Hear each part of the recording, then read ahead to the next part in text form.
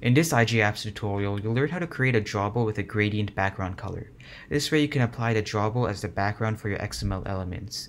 Like in this case, I'm using my drawable as the background for a relative layout, and it transitions from a red color in the top left corner to gold in the bottom right corner. Let's get started. Head on over to your activity-main.xml file underneath layout and resources.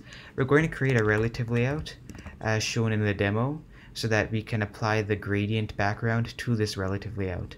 The relative layout's width and height are both going to match parent and we're going to provide some padding or I mean margin around this relative layout that way there is some space between it and the edge of the screen. So the amount of margin that I'll provide will be 4 SP and I'll also center this in the screen so layout center and parent equals true. Now with this basic stuff out of the way, we can go ahead and create a drawable file for our gradient background. So I'm going to right click on the drawables folder, hover over new, and select new drawable resource file. Now it's asking me for the name of this file and I can go ahead and call this gradient, hit OK, and my file is ready to be modified. Inside of our file, what we're going to do is we're going to change the selector to a shape that way we can define a shape for our background.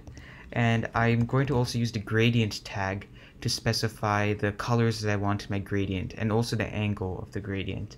So when we do this, you can, if you type Android, you can see some of the various attributes that we have. We'll start off with the start color.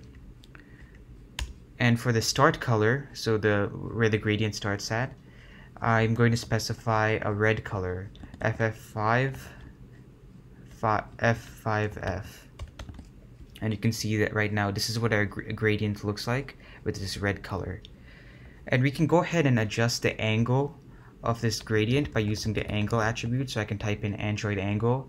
And if I do 315, it will go from the top left corner to the bottom right corner. And this is what I want. You can go ahead and play with the angle to if you want another uh, direction. Now for the end color, by default it's going to be white, but what I want to have is a gold color, so I can type in Android end color. And now for the gold, I'm going to use the hexadecimal code FFD581. And you can see the updated gradient that we have. There is one more attribute that we can specify for the color, and that's for the center color. So just as an extreme example, if I wanted the center to be black, you can see here transitions from red to black to gold.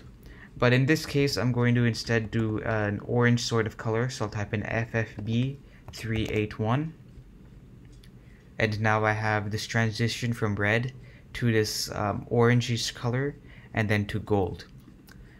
The last thing that I'm going to do with this background gradient is specify the some um, curved corners. I'm going to say Android bottom right radius equals 40 SP and I'm going to do this for the top left radius as well 40 SP so now you can see that our drawable gradient has a curved corners in the top left and the bottom right.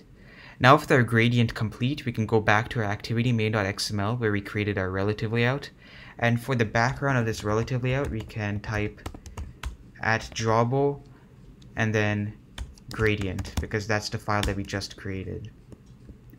And now when we run our app, we can see what we've created.